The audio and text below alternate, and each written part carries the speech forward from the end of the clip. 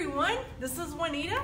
I'm here at Dash Sports with Kimberly Grogan, and today we are going to spend some time talking about the importance of supportive footwear. And it is incredibly important because I'm going to tell you something.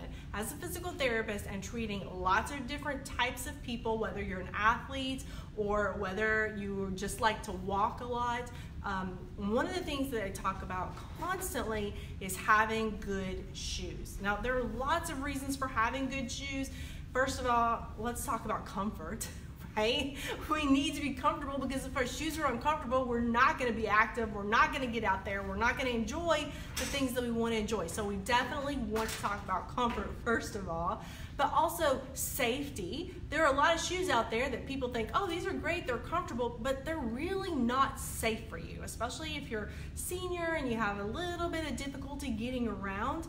Being safe is incredibly important, and I talk about that quite frequently with my patients too. But one of the most common reasons that I talk about shoes and, and awesome footwear is because of the health consequences that can occur when you have poor shoe wear. And uh, I'm sure, Kimberly, that you see that all the time coming into your uh, your beautiful place of business here. And if you haven't been to Dash Sports, it's right downtown Clermont. Beautiful new facility. How long have you guys been here? Not too long. Since July 10th. Since oh, okay, since July 10th. So pretty new, pretty new. But well, we met you. But you're not new to the community. Right. You've been in the community for a long time. 13 years, yes. 13 years because they were previously uh, geared for multi-sports and they were up in the National Training Center and now they've decided to grace us all in downtown Clermont with their presence. So Kimberly, tell us a little bit about why people come in here, what kind of shoes they're looking for. And I know that there's a variety, but, but in general, what is it that you see when people have poor footwear? So we see everyone from super fast um, athletes, runners, triathletes, um, all the way to people just needing good footwear to walk every day. Mm-hmm. So whether they like to stand in their kitchen and cook a lot, um, yes. whether they like to um, walk their dog, um, all of those are good reasons to get um, good fitted footwear. Um, so we see people who um, need a lot more support than what they have. What, um, what you get off most shelves um, doesn't have support. And right. sometimes as we age, we need more support.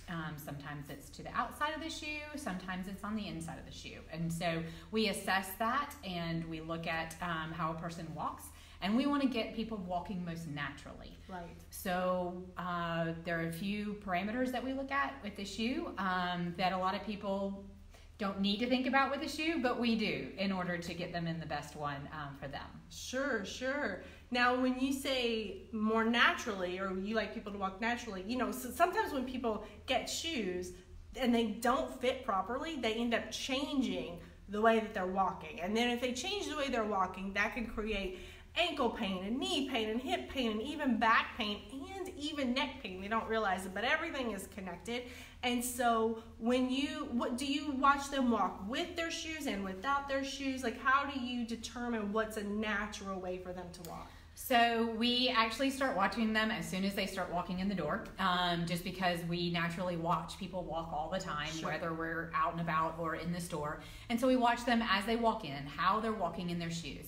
We kind of assess um, if the shoe, we can tell almost from um, a little ways away if the shoe even is the right size. Um, and so we can assess those things. Um, we go through and watch them walk um, without uh, shoes on if they're able to. Mm-hmm. Um, watch them as we put them through a few little movements, measure their feet with an actual Brannock and then we uh, assess what type of shoe they might be in. So whether it's a stability shoe, a neutral shoe, um, one that has support on, more on the outside, um, and then we go pick out um, shoes for them to try on. Many times people are um, up a half a size to a size from what they think they are. Oh. Um, no, but especially women, right? We don't want to admit that our shoes might be a little bit bigger than we thought that they were. Yes. I, I, I'm definitely guilty of yes, that. I a lot of people are, and I always say, so if your shoes aren't comfortable, you're not going to be as active, right? Right. So if your shoes are too short, you're not going to be as active. Sure. So I always say it's always better to go up a shoe size than a clothes size oh, because oh, your shoes are too true. short. Oh, that's good. So, that's a great point. I'm going to remember that. So a lot of times, I mean, we do sometimes turn the boxes around so people don't even see the shoe size because it's one of those things we just wanted to get you in one. And so we look at the shape of the foot is a big part of um, what we do as well. So um, a lot of people are in shoes that don't actually fit the shape of their foot. So if you all want to, you can look straight down at your shoes right now, look at your feet, see how your foot is shaped, and then look at the bottom of your shoe and see if the bottom of your shoe matches your foot shape. Um, okay. If it doesn't, then it may not, most likely isn't the right shoe for you. Um, especially in the walking gait, mm-hmm. um, because we do spend the most time on the ground in the walking gait, um, and so the shoe needs to be supportive the whole of the whole foot through the whole motion, um, and so that's one of the things we look at. Um, and most shoes on the shelf, um, I'll pick one out that is a common brand to get off the shelf. If you see right here how narrow it is um, in this midfoot here, most people's feet are not shaped like this. Um, most people's feet um, do um, are more shaped like this, a little bit wider um, through the midfoot. Um, and so most of the shoes on the shelf are more shaped like this, and that is why a lot of people get pain and they're not as supportive on the inside. Right now, with with a shoe like this, would this accommodate somebody with like a higher arch? Is that what that's looking for? And a lot of people don't have high arches though. They're especially as we get older, our right. arches tend to fall a little bit. Right. So, and even a lot of people with high arches, um, it's we talk about the volume from top to bottom as well. Um, and so a lot of people with high arches also need a high volume shoe um, from top to bottom. So we look at that um, to make sure that their foot fits in um, you know, uh, the height wise as well. Mm-hmm. So, um, right. But this one is great for um, that quick off the ground um, running motion, sure. but not necessarily the walking motion. Right. So, because our, our feet are different when we're running versus when we're walking. I mean, the shape changes uh, differently. Yes, how it how it connects with the ground. Exactly. And um, goes through that motion. Exactly. So. One thing I didn't mention before, which I know you and I have talked about, which is really important, is that shoes can really help you with your balance. And you know, if you have a shoe that that puts you off balance, then it doesn't matter how great you seem to walk. You're always fighting the shoe in order to do that. Now what kind of shoe would would help that? Just a shoe that fits the shape of your foot, or are there special shoes that help with that? Um, well, that is one of the factors um, is having a shoe that fits your foot so that you do feel most um, secure in the shoe. Um, but it's also um, if, like I was saying, if somebody needs stability, mm-hmm. Um, like this one is high, built up quite high on the inside. So if your foot rolls in, this one will help keep it most neutral. So if the foot rolls in like onto the inside, this one's going to correct it um, neutrally. Um, and so, uh, but we do have a lot of people who are just neutral and need a good base. So this one is somebody who's going to walk just straight to back, not roll in, but they may roll out. So if there's a um, tendency to blow, what we say, blow out the side, the outside wall of the shoe, um, something like this um, might be a good one um, for those um, those people. Um, so the stability aspect, the just being able to walk naturally without um, hitches or swinging a leg or um, things like that. Uh, it depends on how you know what is going on. Sometimes it's from the ankle. Mm-hmm. So we mm-hmm. can see how the ankle, um, the laxity of the ankle, um, how what that foot needs, um, how it travels from the ankle up the foot, um, if it rolls in, it's going to need one thing, rolls out another thing, and then straight up the middle, something different. So, I mean, we have some really cool success stories of sure. um, people who have come in, you know, I actually had a lady yesterday limping and, and all um, from plantar fasciitis oh, um, oh, yeah. in her foot um, that can be caused from many different um, things. And um, the first pair of shoes she put on, it was night and day from the way she came in. So um, I've had a, a gentleman recently um, who we put in some stability shoes. He was very close to needing a walker um, oh. because of how bent over and sure. all that he was from not having enough support. We put him in a supportive pair of shoes, and he just about took off running. Oh, that's um, amazing! Tears that's in his eyes, yes. and just um, really gave him a lot more life, um, a lot more, you know to be able to be active um, longer in life um, just because of putting a good um, foundation on his feet.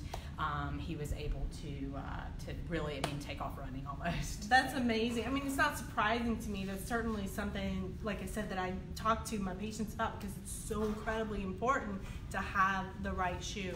Now, I've heard something, and I don't mean to just throw this at you, but I would like for you to either dispel it or confirm it. It's, it's a, a rumor that I've heard. I don't want to say myth yet because I don't know if it's true or not. But, um, okay, so I heard that if you go to like the outlet stores to buy your shoes, that really the shoes are already like halfway through their life before you even purchase them because of the shelf time that they've had. Is that true? Do shoes have a shelf time, a limited shelf time, or what is that? They do at some. Um, they do, um, and especially in Florida because of our humidity. Okay. So most of the shoes are made with um, a foam at the bottom, which is great um, because it makes them soft. Um, you know, more cushioned. I wouldn't say soft, all of them, because um, some of them we do need more um, structure to them.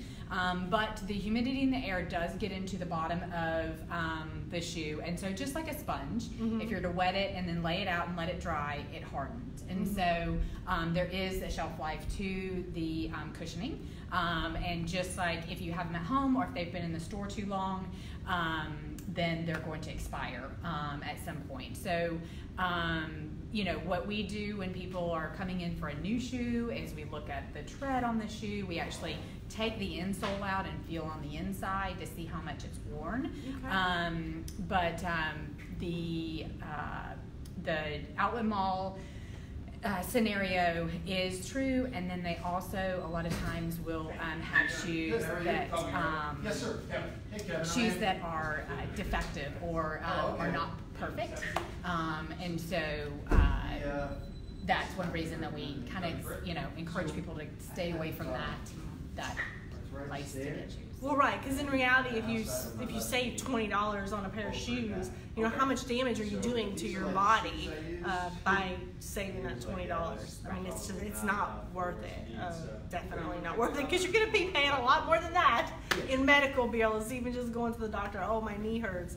Uh, sometimes we don't put that together with shoes and, and the way that you're walking, uh, but it's certainly an important part of that, and we should always consider Yeah, that. my, Yes, my yes, yeah. today. So, My what are some other tomorrow. what are some mistakes that people make when they buy shoes? I'm sure some, some people come in here to you and they say, "Okay, I want this kind of shoe. I want this type of shoe," um, and and you look at them and you're like, "No, no, no, that's completely wrong for you." What are what are some mistakes that people have or perform when they're looking for shoes? Um, sometimes it is getting uh, wanting a shoe that's too little, too low in cushion, Okay. um, and so we know that as we age, um, our fatty pads and all on the bottom of our feet um, do lessen, and so we do need cushion. Um, also, most of the floors that we walk on um, in Florida, we have a lot of concrete, theme Yes. parks, things like that. Um, a lot of tile, a lot of um, hardwood. Um, in houses, things like that. So, um, and then sand is another. Oh, that's a that whole different- That's a whole other conversation. but um, but we do need some cushion, um, and so we do. For some people, they do need a very flexible shoe. Yes. Um, and so we try and marry that um, need of flexibility with enough cushion. So um, sometimes they do, um, the shoe may look like it's a, a low um, cushion shoe, but it actually has quite a bit. And so just by knowing the shoes, um, then we're able to help the person get the right one, um, giving enough cushion. So that's one, but a lot of people do get the wrong size when they Okay. fit themselves. Um, they don't understand uh, how these shoes are made and how they're supposed to fit. So um, these companies spend a lot of time and money on research Sure. um, on these shoes. Right. The ones that are in the big box stores and things like that that are the same brands are not always the same caliber shoes. Um, and so, uh, but they do put the um, the foot uh, normalized foot in the shoe and where the widest point of the foot should be. Um, the person should have about a half a thumb width to a thumb width at the end. A half a thumb width to a thumb width at the end of the at shoe. At the end of the shoe. Okay, so so like when you're when you're measuring your kids' shoes, right? When their kids are little, you just stick your fingers in there to Yeah. see how far. Okay, so it should be a thumb width or a about half, a half a thumb width okay. to a thumb width. Um, And uh, and so that puts the widest part of the foot over the widest part of the shoe, Okay. which means that the toe bones, which is the widest part, Mhm. have enough room, um, and so all the nerves and veins that go in between the toes have enough room to work and do what they're supposed to do. Okay. So, All right. That's great. Okay. Now, we are in Florida, mhm. and people do not like to wear tennis shoes all the time. Especially, you know, some older ladies that I that I know and have treated for a long time. They talk about how sweaty their feet get, or they'll have these beautiful pedicures, right? They want to show them off to the world, but they wear completely inappropriate sandals. Yes. And and I worry about them, and I tell them frequently to throw their sandals away because of the safety issue that we had talked about a little bit earlier. Um, but I see you have a, a ton of, of sandals here, so tell us what to look for in a sandal, and maybe show us, you know, what would be a good sandal to wear here in Florida for both. I mean, women and men, but I get it more from the ladies than I do the men generally. So that is um, something we get lots. But I have lots of shoes at home, and I, none of Yes. them are going to work. Da, da, da. And it's like, okay, if they're not working, then logic says to throw them away or to give them away or something. Because if you're going to end up in hurt where you can't be as active as you want to be, then there's no sense in wearing them, even if they're as pretty as they can be. Um, so we've got um, a couple of brands that we carry. Um, OluKai is one of them, um, where you can see that they have a nice, good arch to them. Um, these can be worn in and out of water. Um, very, very durable shoes. Um, very, very popular brand for us.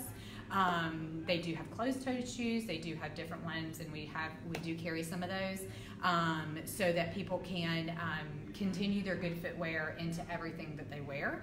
Um, we also carry a brand, um, Spenco, which they um, started. This company started many years ago, making insoles, supportive insoles, and their most popular supportive insole they then put into a sandal.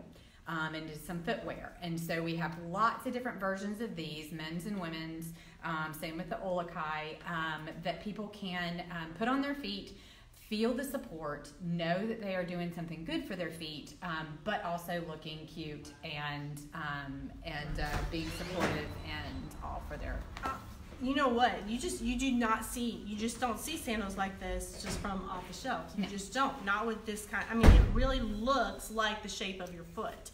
Uh, tho- those flat shoes, terrible, terrible for you. And then they usually have like slick bottoms, which are terrible for you as far as balance and walking. I mean, I'm even younger people. I know a lot of younger people who have slipped because they've been in the wrong shoes, especially sandals, or you know these these li- what are these called right here? The Thong. Is Yeah, that what they're yeah. called? Okay, I wasn't sure. portion, I just yes, wanted to make yes. sure. Okay, yeah, that portion is.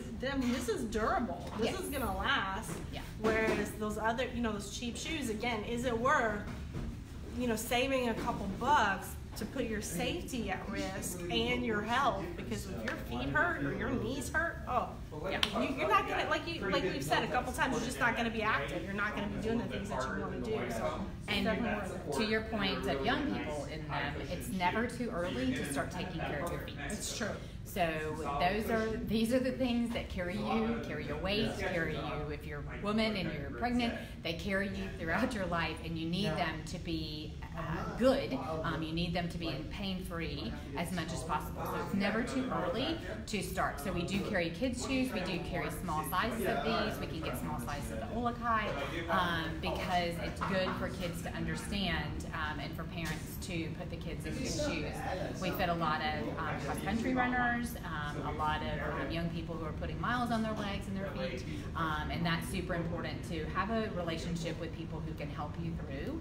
Um, that you may have injuries, you may have um, uh, just questions about how to stay healthy um, through running, um, and we are a good resource. You know, your local store is a good resource for um, for asking those questions.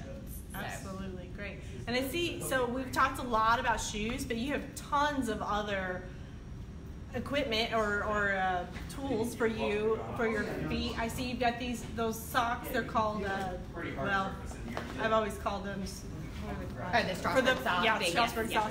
Oh, yeah, you got it right here. Good. Yep. For plantar fasciitis, this is the first thing that I recommend for my patients because when you sleep, It will help to keep you in a stretched position, uh, and you heal when you sleep. And so these are amazing.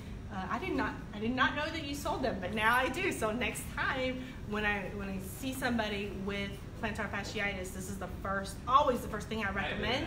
But now I have a resource that you guys can go to, right? You don't have to order them online. You can come right here to Dash Sports and see what works for you best as far as size, because the sizing can be a little funny, especially if you're you have bigger calves like I do or I used to because I used to be a runner, so my calves were like uh, gigantic, so it's hard to get the right size. Yeah. But so that's great, yeah. Yeah. So this is one thing we say almost everybody in Florida needs one of these in their house because at some time you're going to experience you're going to walk on um, sand too long, you're going to pull something in your foot from walking barefoot or, um, you know, the grass or whatever. And if you put this on for just a few nights, um, once you feel that twinge and the tightness in the morning, um, you put this on for a few nights and it can help take care of it before it becomes a chronic problem. Yeah, absolutely. Agreed. So. I have two. Yes, yes, yeah, two. we do too. One for each, but. Well, and then you're always like, where is that thing? I know, I know. so. And then you have other things too. I know yes. you have a ton of, of insoles over there. I see that. And so for people who need, um, who have to wear certain shoes uh, for work, boots, um, or you know non-slip, or they're like, I just got these shoes. I don't, you know, but they said I need something. Right. We have a myriad of different um, insoles, um, higher, lower arch, more support, less support, more cushioning, less cushioning. Um, we hear many times, and there have been people who come in with things stacked on top of each other yes. in their shoe, um, or I've gone to go get this brand from over the counter, and I paid a lot of money for them, and they felt good for like two weeks. Right. These we know people have been in for eight months to a year, um, and, and been super super happy because they have stiff pieces and so that's different than a lot of them that you get off the shelf. Mm-hmm. If you think about your weight um, coming down on these you need some stiffness to it um, so that it holds up the weight. So these right. are not bendable in the middle very much. They're very, very um, stiff and um, support for a long time. Sure, sure. And, and then are you, you go through the same process of finding the insole as you do the shoe as far as like looking at the, the shape of the foot how people walk and things like that? Yes. Fantastic. More fun stuff. Stuff Love. for plantar fasciitis. Nobody ever wants. nobody ever wants um, plantar fasciitis, but it does happen. So we have some good, um, fantastic things that we've actually tried out ourselves because mm-hmm. um, we go through it, um, and uh, so we have some fun stuff, some stuff that'll give relief pretty quickly. Um, so then you can go about and be active because sometimes what is best for plantar fasciitis is being active and getting that blood flow and keeping it. So, right. Um, yeah, little fun things to roll your foot on at night. Um, Who doesn't want a foot massage at night, right? These things don't work unless you use them. so we hear many times, oh yeah, I have one of those at home. Okay, we'll use it and it'll help. So lots yes. of little things that we can help and we, um, we uh, teach you how to use in here. Um, mm-hmm. it's not just a, you know, send you on your way, but we actually sit down and teach you how to use it. So, right, right. Um, and okay, so not only that, right? So we got lots of equipment, we got lots of shoes.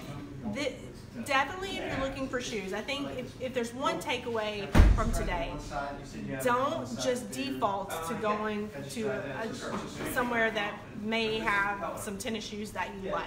Instead, you need to come somewhere, get fitted, know the kind, the proper kind of shoe, have somebody look at the way you walk that's going to help you with your safety, with your balance, with just your activity level because when you know what it's like when your shoes are not so good and you've been out walking all day and you know how exhausted you feel at the end of the day. But if you have a good pair of shoes, a steady pair of shoes, then at the end of the day, it's a whole different world. Like you were talking about that one guy, you know, that one gentleman with the walker, uh, or almost who needed a walker. You know, it just makes a world of difference. But so you guys do all of that, which is great here at the store, but you don't only do that because I noticed in the in your window that you also sponsor walks or runs, yes. right, during yes. the week. But let's talk a little bit about that. What does that look like, and, and who can come, and, okay. and what to expect? So we have a free um, run every Wednesday night. Um, we always have a speaker beforehand. Um, so we always do it Facebook Live as well, so you can watch it then or after. Um, so we have speakers talking about motivation or training or racing or um, you know, just being healthy and active, um, many different topics uh, mm-hmm. we're going to go through in the next weeks um, and years. And um, so that's a free run at 6:30 um, on Wednesday nights. Um, we also um, are a part of Park Run, which is a free 5K that happens every Saturday Yes. in Clermont. Um, it is a um, worldwide organization, Park Run is, and so you go online and go to parkrun.us and register and bring your barcode, and you get a free timed run every single week. Um, so it's a great group of people, um, and you don't have to run it; you can walk it. Right. Um, we have a lady. There are a lot of walkers. I've been I've been there several times, and I know it's a, first of all it's beautiful. It's a beautiful course. Always had the most beautiful courses, but there are a lot of, a lot of they're very very very fast. Yep. People, usually the kids, so get well behind them. and then and then there are people who take you know it's a it's a 5k, so it's 3.2. 3.1. My husband's training for a marathon. I've got two Oh, of my yes, brain. yes, yes. Yeah, so uh, 3.1, right? A mile run or walk, but you know, they'll take an hour, an hour and 15 minutes. But you know what? It doesn't matter because if you're the last person there, there are still people there cheering you on.